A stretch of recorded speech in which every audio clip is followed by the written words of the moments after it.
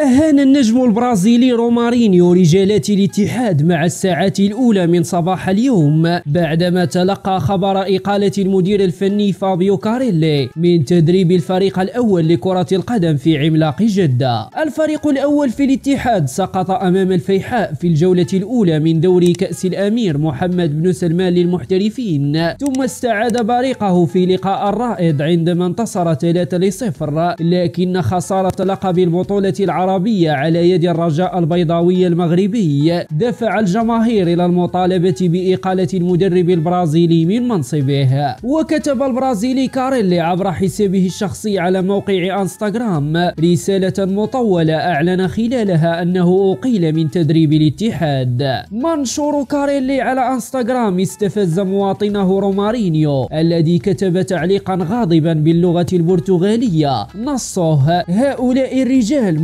مهرجون ثم سرعان ما حدثه من التعليقات بعد أن هاجمته الجماهير الاتحادية بشراسة. وفي نفس السياق توصل نادي الاتحاد إلى اتفاق رسمي مع مدير فني روماني من أجل تولي تدريب الفريق الأول لكرة القدم بعد إقالة البرازيلي فابيو كاريلي من منصبه. وأشار الإعلامي سعد السبيعي عبر حسابه الرسمي على موقع تويتر إلى أن الاتحاد تم اتفاقه مع المدرب الروماني كوزمين كونترا موضحا أن التوقيع على العقود هو ما يتبقى فقط قبل الإعلان الرسمي. كونترا البالغ من العمر 45 عاما قاد في مسيرته التدريبية كل من خيتافي الإسباني وجوانزو الصيني ودينامو بوخارست الروماني. كما تولى تدريب منتخب رومانيا في الفترة من 2017 و 2019 وتوج المدرب كونترا بلقب كأس رومانيا مع بيترولور بوليس في موسم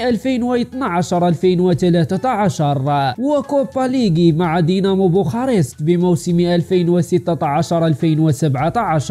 وفي مسيرته التدريبية قاد كونترا 216 مباراة مع مختلف الأندية وحقق 100 فوز و59 تعادلا و57 خسارة. شاركنا رأيك في التعليقات ولا تنسى دعمنا ب like والاشتراك في القناة ليصلك كل خبر جديد.